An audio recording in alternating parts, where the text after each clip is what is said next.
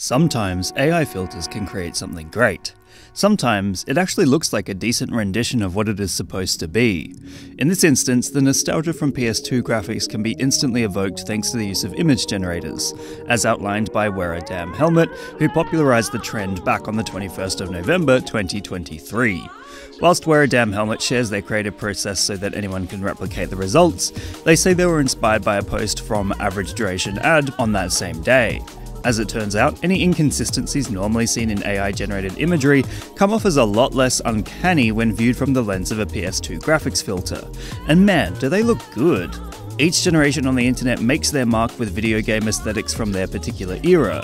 It started off with homages to pixel graphics, then PS1 slash Nintendo 64 era graphics, and now PS2 era graphics. All of these eras give rise to approximations of what video game designers felt were their best replications of real life, and with each generation came kids who thought everything looked so realistic. It's funny now to look back and see just how weird older graphics looked, but hey, there's certainly a bizarre beauty in these images and they possess undeniable charm. It's awesome to have the power to change anything into a PS2 version of itself with that strange, almost liminal quality to it, as there really is nothing else like it around.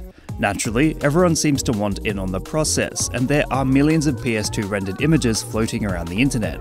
The cool thing is that there are tons of easy to follow tutorials out there providing step by step instructions on exactly how you can create your own. They're very easy to find, but be careful of any site that asks you to put in personal info like credit card details, as it might be trying to get onto the trend to scam people. That being said, the coolest thing about this is the ease of use to get a decent looking product. Most people on the internet have some vague memory of what PlayStation 2 graphics looked like, and in a world where early 2000s aesthetics are dominating, it's great that video games have become a de facto style of expression.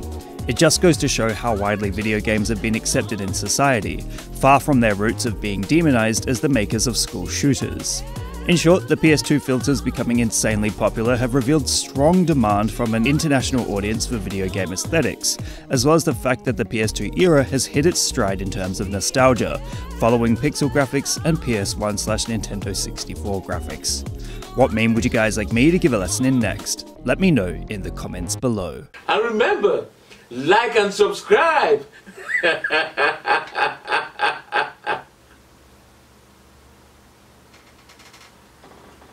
or else